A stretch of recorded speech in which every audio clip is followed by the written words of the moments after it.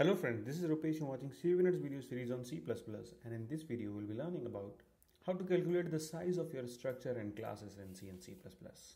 So I have created another video, I mean I created long back, it's structural padding and packing. So there I have explained how structural padding and packing work and I feel like I have missed few points so I'd like to cover those points here. So if you have not watched my previous video please go ahead and watch that first then you come here and watch this one and you will get the link in the description field.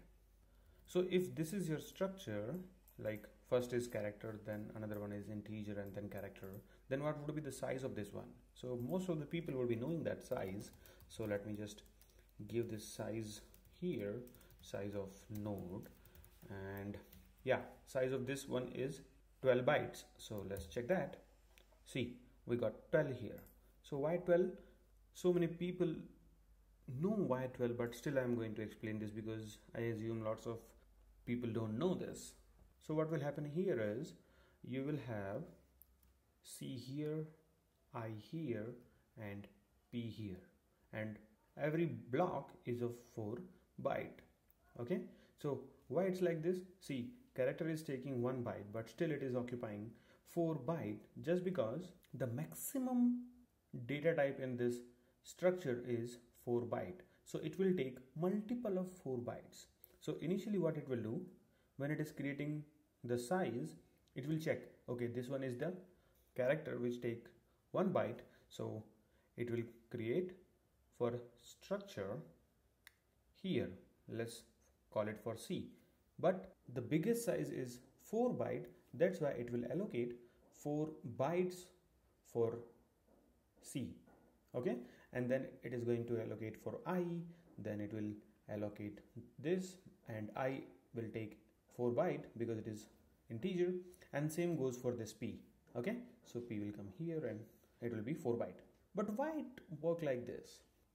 Because of the memory alignment problem okay? So if you don't know what is memory alignment problem as i told go ahead and watch that previous video of mine okay? So ultimately it will create 444 means 12 byte for node. But wait a minute we didn't came here just because we wanted to see what would be the size of this one. We came here for this reason. Let's suppose you have some another structure. Let's call it node 1 and inside that structure you're using this node and here we have some integer let's call it x. So what do you think? What would be the size of this one? As we saw that in this example here that if we have the bigger data type as 4 then rest of the size will be calculated on the basis of this bigger data type which is integer. So the similar case here what would be the size of this one? Is it going to be like this one is 12 byte and then is it going to be like multiple of 12 so let's check that. So I'll just print that size of node 1 and bingo. Okay.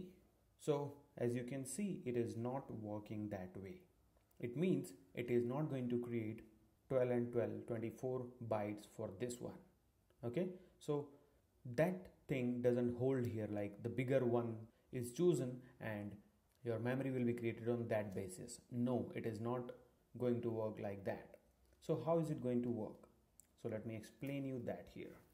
Actually we are seeing this as 12 bytes but actually it is 4 byte 4 byte and 4 byte. Okay? So if you change this node one structure like this like you have this struct node 1 and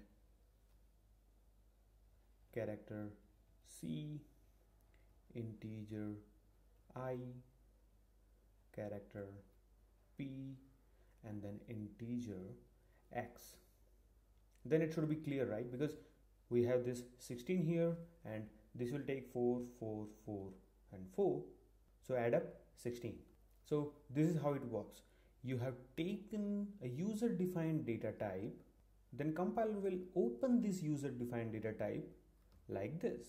So you might be wondering let's suppose if we have this integer here that's why it is taking 444 if we have 8 here I mean double here then it should take 8 right? So let's check that. So instead of this one if I will make this a double then what should be the size of this one? It is 8 byte. So this one will go 8 8 and 8 then this is 24 and what should be the size of this one as this time the bigger one is 8 so this size should be this is total 24 and then 8 again. So 24 plus 8 32 so let's check that. See we got it here. So 24 and 32 okay? So now tell me what if I include another integer x here? Let's suppose integer q. Then what would be the size of this one I know lots of people would say that it will increment another 8 so it will become 40 but no it will remain at 32 and if you don't want to know that why then skip the video otherwise continue. Our size remained same. So let's check that why it is like this. So when it is going to create the memory for this it will start like this. It will open up this one. So after opening this it will get these things here okay? Then it will check which is the biggest data type. Double. So it will create memory multiple of 8 so it will create first 8 here and C goes there. But C will take only one byte I mean uh, the initial one byte and remaining seven bytes will be of no use because next element is double and double cannot accommodate in 7 byte. It needs 8 byte. That's why it will start taking another 8 byte. Okay? And we'll put this i here. Okay? Another 8 byte. And the same will go with this p. So if we are creating a memory we will create in the multiple of 8 so we'll create 8 bytes memory and we'll put this p here. Even if it is taking only 1 byte p will come here. Now this 8 8 and 8 is 24 so this one is correct.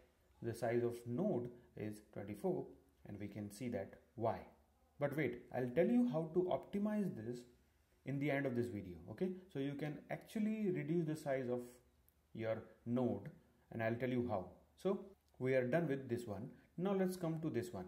So as i told this will be opened up here and it will check what is the biggest data type here and it will create memory with the multiple of that data type.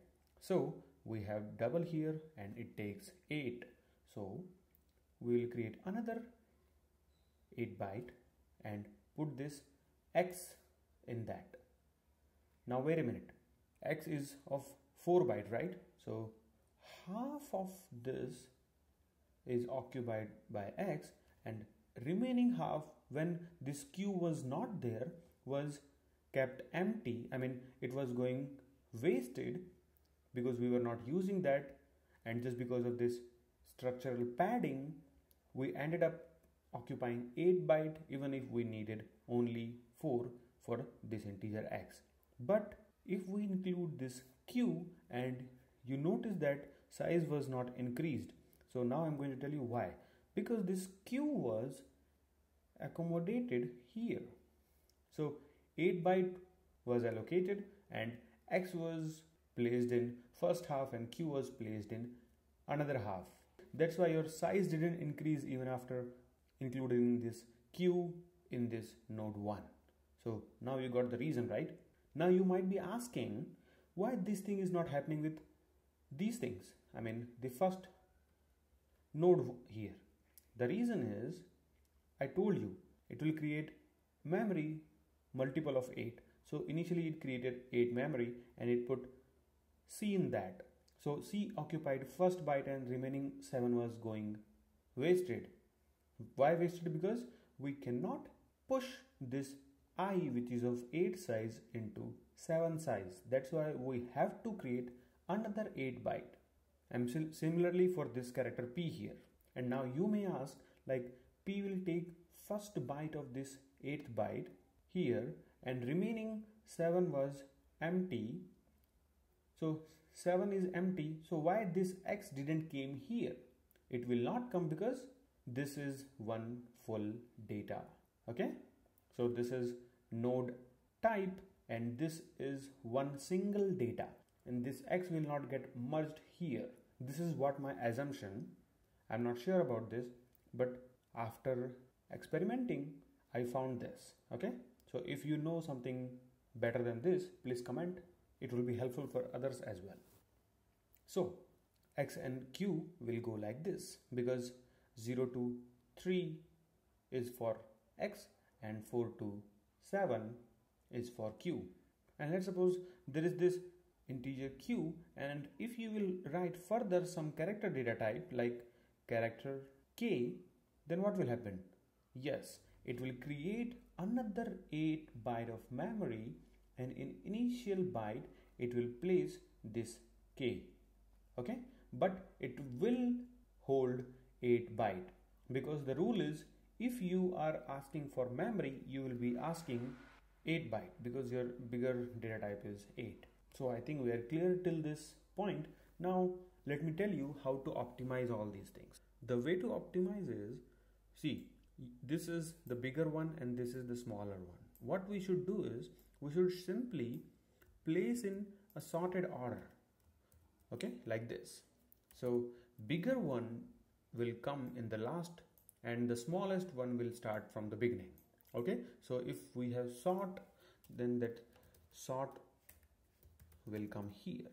Okay and integer will come here.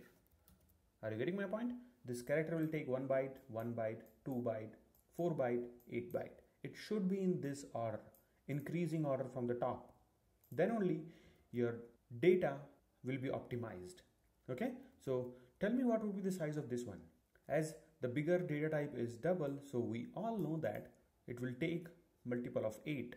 So character will come into first byte, another will come into the second byte. Okay, let's me just draw that. Let's suppose this is your first 8 byte, okay?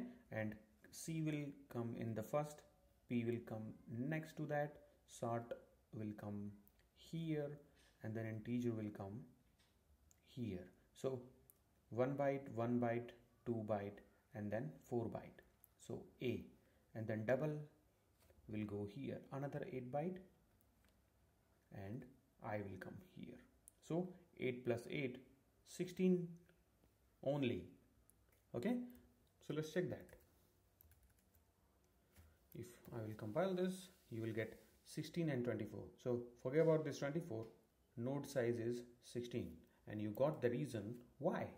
So as I said, it will create in multiple of 8 and it will try to push all these data types inside that 8 and once it is not able to push any data inside that 8 it will create another 8 so this is how it work and before this two things was not there right and if you remember when we were keeping this one after this like this then it was taking 8 byte, 8 byte and 8 byte.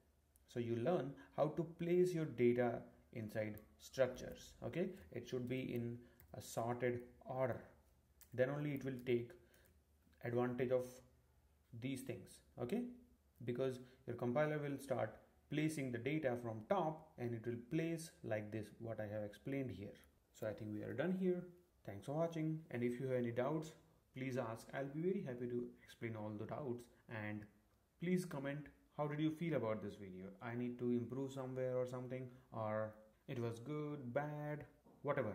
But please do comment. Thanks for watching i'll see you in the next video. Bye bye